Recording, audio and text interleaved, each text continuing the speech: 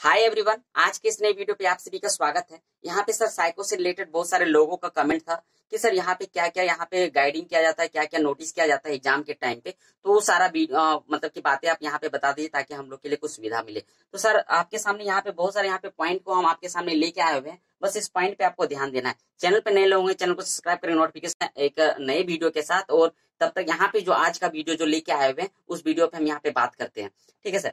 तो चलिए सर, यहाँ पे हम क्या बोलने के लिए जा रहे थे कि साइको टेस्ट के लिए जो इम्पोर्टेंट पॉइंट है तो पहला पॉइंट यहाँ पे जैसा कि देख पा रहे हो कि साइको में पासिंग मार्क्स जो है forty two forty two percent इस सेक्शन में होना चाहिए। देखिए सर, यहाँ पे हम जो पिछला वीडियो जो अपलोड किए थे, उसमें आपको हम बताए थे कि यहाँ पे पाँच सेक्शन होता है, और पाँचों सेक्शन में कितना कितना मिनट का होता है, वो चीज़ सारा हम डिटेल आपको बता चुके थे कि किस सेक्शन में कितना मार्क्स आएगा, कितना टाइम दिया जाएगा, वो सब सारा हम डिटेल आपको बताया। यदि हमारा पिछला वीडियो नहीं देखेंगे तो वहाँ पे जाके देख सकते हैं, आपको वहाँ पे सारा डिटेल आपको मिल जाएगा। ठीक है सर। अब यहाँ पे बात करते हैं सेकंड में सर कि साइको में 90 परसेंट स्कोर का सेफ़ स्कोर होता है।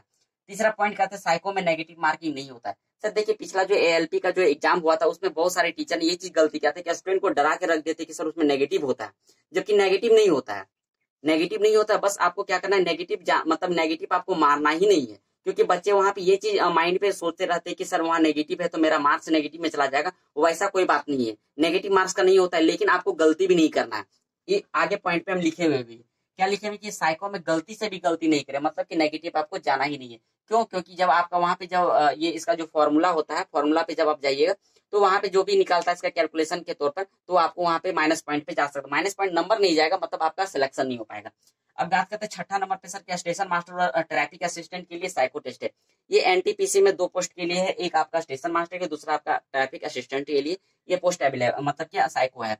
सातवां नंबर पॉइंट बात करते हैं, सर, पाँच प्रकार के परीक्षण होते हैं इसमें से कुल एक प्रश्न आते हैं, जो कि अड़तालीस मिनट का होता है। नेक्स्ट बात करते हैं, सर साइको टेस्ट के लिए प्रत्येक सेक्शन में पास होना अनिवार्य है। जैसा कि पहले बोल दिया कि, सर, प्रत्येक, इस सेक्शन में आपको 42 परसेंट लाना है।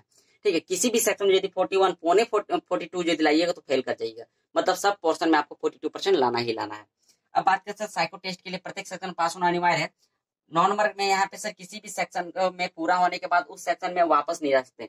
मान लीजिए यहाँ पे पाँच सेक्शन है, पाँच सेक्शन मान लीजिए तीन सेक्शन आपका कंप्लीट हो गया, चौथा सेक्शन आप जाने वाले फिर सोचेगा हम यहाँ पे तीसरा सेक्शन आएँगे, फिर दूसरा सेक्शन आएँगे, वैसा नहीं होगा। एक सेक्शन जैसे कंप्लीट हो जाएगा, दूसरा सेक्शन आप खुद खुद चले जाइएगा।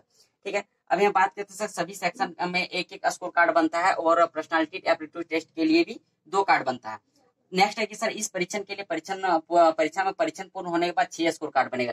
सर, बोलिएगा सर, ये पाँच स्कोर कार्ड पाँच यहाँ पे सेक्शन है तो छह स्कोर कार्ड कैसे बनता है? पाँच सेक्शन का पाँच स्कोर कार्ड बनेगा लास्ट में फाइनल में यहाँ पे पर्सनलिटी एप्टीट्यूड का टेस्ट बनता है। सर, अब हम यहाँ पे इसका फॉर्मूला की ओर बात करते हैं। फॉर्मूला इसका क्या होता है और किस सेक्शन पे यहाँ पे, किस तरह यहाँ पे निकाला जाता है मतलब एग्ज़ाम में टेस्ट होने के बाद। चलिए हम यहाँ पे देखते हैं। यहाँ पे हम बात करते हैं सर, इसका फॉर्मूला क्या होता है? फॉर्मूला देखिए sir fifty plus ten bracket में एक्स माइनस मीन बटा स्टैंडर्ड डेविएशन एस डी होता है।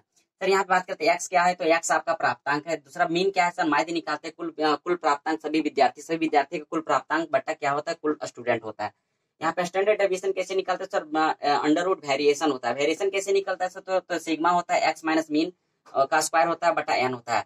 तो इस तरह करके हम सर यहाँ पे जो भी यहाँ पे साइको टेस्ट होता है जो फाइनल जो यहाँ पे मेरिट जो बनता है मतलब किस टाइप से निकाला जाता है वो सब सारा फॉर्मूला आपके सामने लेके आ गए हैं सर। तो सर, आज का वीडियो हमारा कैसा लगा? हमारे कमेंट बॉक्स पर कमेंट करके ज़रूर हमारा फीडबैक दीजिएगा, ताकि हम जितने भी सारे आगे के वीडियो लाएँगे, थोड़ा मोटिवेट आप लोग कीजिएगा, ताकि हम अच्छे अच्छे वीडियो आपके सामने लेके आते रहते सर एनडीपीसी सीबीडी टू के रिगार्डिंग यदि कोई भी ऐसा नोटिस आता है, या तो ग्रुप डी के रिगार्डिंग पे यदि कोई भी ऐसा नोटिस आता है तो आपके सामने ज़रूर हम आपके सामने लेके आएँगे। चलिए सर, मिलते हैं ऐसे नेक्स्ट वीडियो पे। चैनल पर नए लोग होंगे, चैनल को सब्सक्राइब करें नोटिफिकेशन ऑन कर लीजिएगा। जय हिंद, जय भारत।